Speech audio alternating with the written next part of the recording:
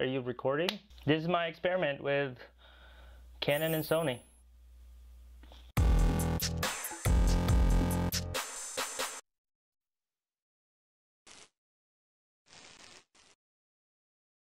What's up guys? Welcome to Cam Collabs where I collab with other artists to make something happen and today we are doing a comparison Canon and Sony, the ultimate battle.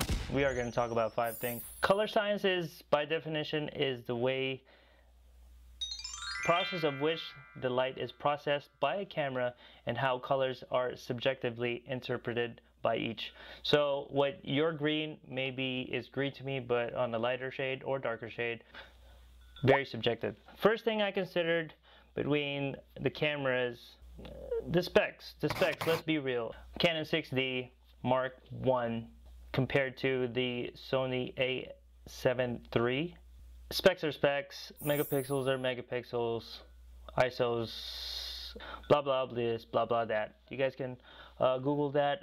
I'm not to waste any time with that. So what matters the chip, the processor of each camera. So you guys can check that out. Of course, the better the processor is, the better the camera is. But that doesn't take away from how good you are as a photographer.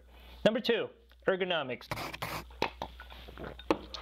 For me, ergonomics is the way it's comfortable with your hands, the way it's easy to use. For me, the Canon is just right for me. My Michael Jordan hands not really, but similar. Needs to have that robust grip, which the Canon has, exception with the SL1 or SL2.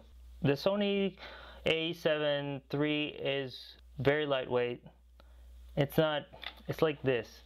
Uh, the grip is not really comfortable with my hands, so I got no better examples. It's good for traveling because it's compact. You can put it in your pocket, put it in your put it in your backpack. When you go to a concert, that's the problem with the the Canon. Uh, twice already, uh, I tried to get in a basketball game, WNBA, because that's our team here in Vegas. Didn't want me to use my camera.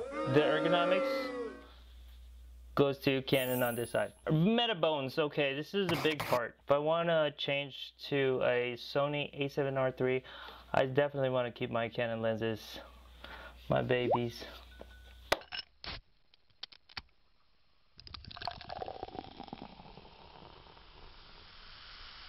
I'm not a fan of the Metabones with these Canon lenses. It's not as responsive. There's a lag and that's a problem because if I'm in a wedding or I'm in a sports shoot and it doesn't shoot it forget it. It's good for travel photos photographs that needs uh, long exposure times. I wouldn't rely on it Canon and Sony mashed together. No. Jack what do you think?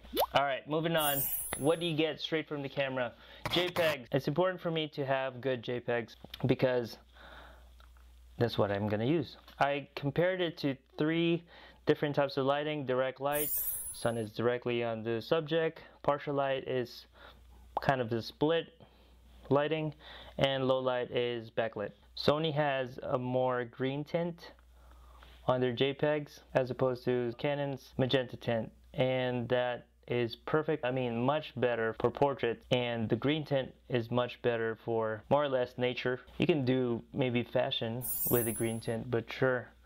Um,